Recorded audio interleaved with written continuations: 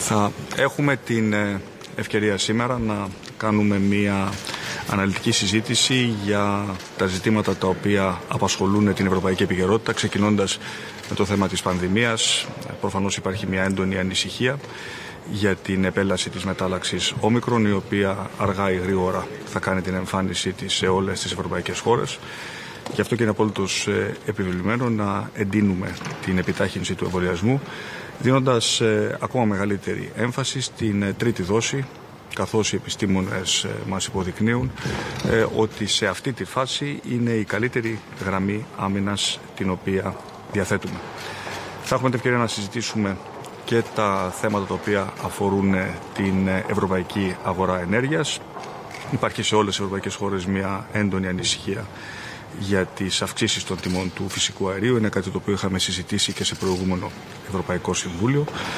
Θα ζητήσουμε και πάλι από την Ευρωπαϊκή Επιτροπή να εξετάσει όλες τις επιλογές έτσι ώστε να μπορούν να γίνουν ενδεχομένως παρεμβάσεις σε ευρωπαϊκό επίπεδο προκειμένου να συγκρατηθούν ε, οι αυξήσεις των τιμών του φυσικού αερίου.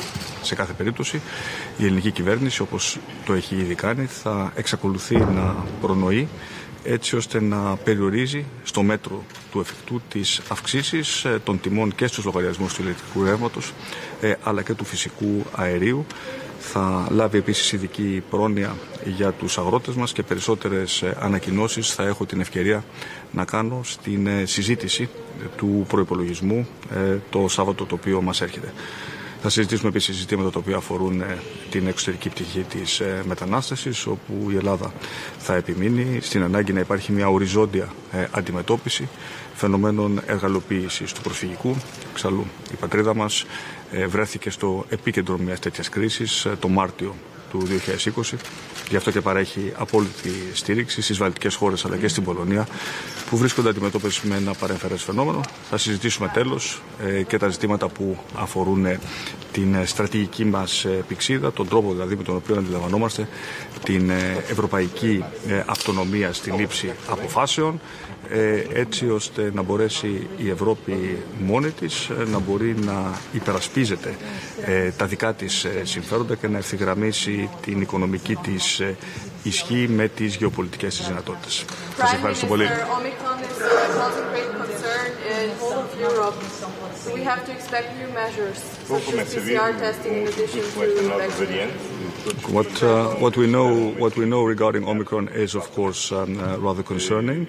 Uh, the one answer to Omicron right now is the acceleration uh, of our vaccination programs, with particular emphasis um, to the booster shots. Uh, uh, in Greece, we were one of the first European countries to open up um, booster shots to the entire population, and we're very happy with how the program is progressing.